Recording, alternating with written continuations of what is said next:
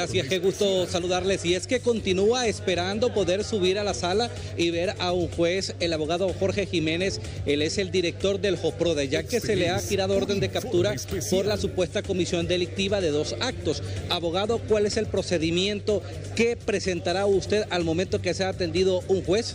Bueno, lo que voy a presentar es mi, mi credencial. Primero, mi credencial soy diputado del Parlamento Centroamericano. No estoy eludiendo la justicia con presentar mi credencial, sino que le estoy diciendo que debe de conocer el caso eh, un juez natural y ahí es donde voy a presentar eh, el tema de las pruebas que, con las que contamos nosotros para dirimir este caso.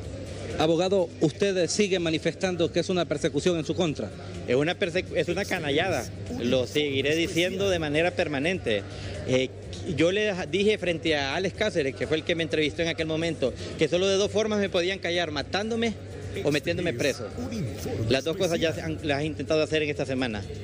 Eh, ¿Sabe por qué me presento? Porque tengo todavía eh, la moral, la estatura moral para enfrentarme a esos cobardes. ¿Y sabe por qué hoy lo hicieron? Porque sabían que los 25, que no pueden dar respuesta sobre los 25 muertos ni los 5 niños desaparecidos todavía, porque si no se han ido para San Pedro Sula es porque saben que también ya están muertas esas personas. ¿Teme usted eh, quedar preso?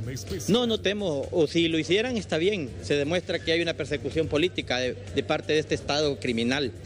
Que mis camaradas por los cuales defendí, por los cuales me detuvieron 26 veces, me raptaron dos veces, y por los cuales eh, me gasearon durante 12 años, son los que me están persiguiendo, es un honor, porque estos no son, no son eh, compañeros revolucionarios, estos son, vienen con venganza, con odio a gobernar, y todo aquel que les diga a ellos su perverso actuar, lo van a tener de esta manera, o judicializado, o asesinado, o como están otros exiliados. Y eso yo no me voy a exiliar, aquí voy a seguir luchando contra este gobierno incapaz de tener una estrategia en materia de seguridad. ¿Lo ha ido a buscar la autoridad a su oficina, a su casa? ¿Han llegado agentes policiales? Sí, me presenté justo por eso. Ayer me, me querían engañar diciendo que me iban a cerrar una denuncia y llevaban hasta prensa. ¿Sabe para qué? Para dejarme durmiendo 24 horas en el Core 7 y hasta hoy presentarme. Eh, cuando vieron, y ya van a salir las fotos en, nuestras redes sociales de organización, ya van a empezar a circular. Eh, cuando vieron y presenté yo mi estatus como diputado, se retiraron. Pero de toda la noche hubo vigilancia. Hasta, hasta esta hora que estoy, sigue las instalaciones de este juzgado lleno de policías. No es un delincuente, pandillero ni, ni, ni, marero. El que se está presentando es un defensor de derechos humanos, por Dios. Yo no me voy a escapar como ellos se van a escapar cuando termine su gobierno, se van a ir exiliados como se han ido muchos exiliados. Yo no me voy a exiliar, yo voy a seguir aquí. Desde el 2009, de que asumí eh, la lucha contra el golpe de Estado y me enfrenté también a todos los procesos pues, electorales y todo esto, ya he estado enfrentado a este, a este no régimen, sino me he enfrentado a este sistema cruel y visceral del cual siempre he sido víctima, pero que aquí estoy con la frente en alto porque no, mi familia no se debe de avergonzar, que me tengan aquí por decirle la verdad un canalla. En el caso de los puestos públicos sabemos que son pasajeros, los que hoy están, mañana no están, pero en el caso de los derechos humanos, esos son toda la vida. ¿Qué han dicho otras organizaciones internacionales? Usted es muy reconocido en ello, pero también ¿qué ha dicho el Parlacén? Usted es diputado. Bueno, esperemos que se pronuncie en las próximas horas el Parlamento Centroamericano, esperemos qué va a suceder con las organizaciones eh, internacionales.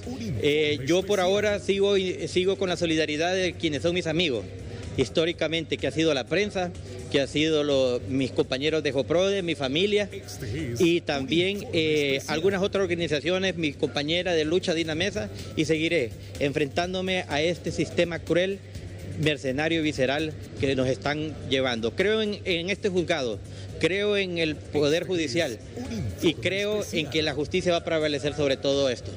Le agradezco su tiempo. El abogado Jorge Jiménez no ha sido atendido todavía, no tiene una cita con un juez.